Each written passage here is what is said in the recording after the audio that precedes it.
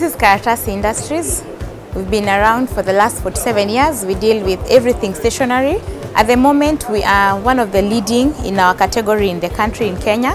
This is our first time here in Tanzania and it's a good experience being part of this uh, exhibition. Scofex has been a good event planner for this. Uh, this is the second time we're participating in it. The event has been well organized and we look forward to participating more and more in this and the feedback is awesome in terms of the people we've interacted with and the businesses that we've already had. I represent Dwala KV Art. We are from South Africa, Cape Town and we are looking for distributors in Tanzania to obviously supply our products in the East Africa. Um, the expedition I am finding very, how can I say, informative and I'm meeting a lot of people in other East African countries. We are writing instrument manufacturer company, so we try to be a number one brand in the world. Uh, in this expo, we are looking for distributor for African company.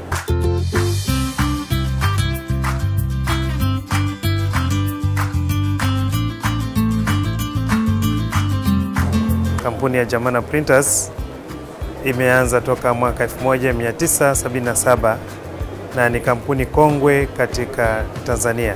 Tuko kwenye maonyesho haya ili kuweza kujadiliana na wafanyabiashara wengine wakubwa kutoka nchi mbalimbali, kutoka Zambia, kutoka Kongo, kutoka Mozambique, kutoka Madagascar, India, pia pamoja na Canada.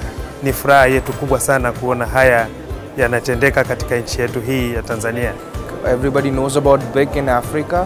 Uh, there's a company called Cello, which is India's number one pen manufacturer, and we are a part of the big family. Scofex Tanzania has been, uh, you know, introduced recently in this particular year, and we have been uh, proudly participating in three of their fairs. This is the third time we are participating to, you know, make sure we have an entry into the East African market, and we look forward to have such more shows in the coming future.